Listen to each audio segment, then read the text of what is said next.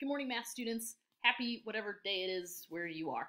Uh, so one of the things that I wanted to share with you today is the calculator on Delta Math. So when you get to Delta Math and you log in, up here in the top right is the calculator icon. So when you click on that, it pops up here at the bottom. And this is one of the better calculators that I've seen. And so if you're wanting to um, calculate items, you can click on the numbers. You can also type values if you want to add and subtract and hit enter.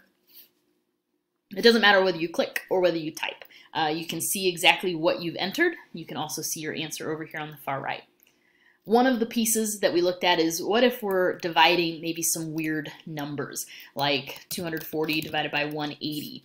Uh, we can see our decimal over here, and you probably know what that is as a fraction, but perhaps it's a decimal that you don't recognize.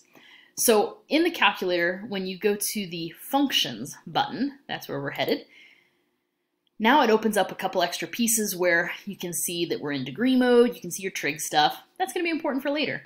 But there's also this button called fraction. So if we click on that, it tells us right up here the decimal we had converts into the fraction 4 thirds.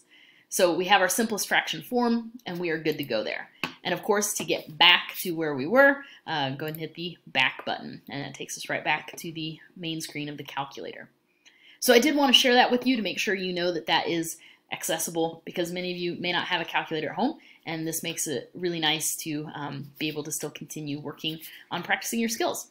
Have a great day and a great week, and I'll talk to you soon.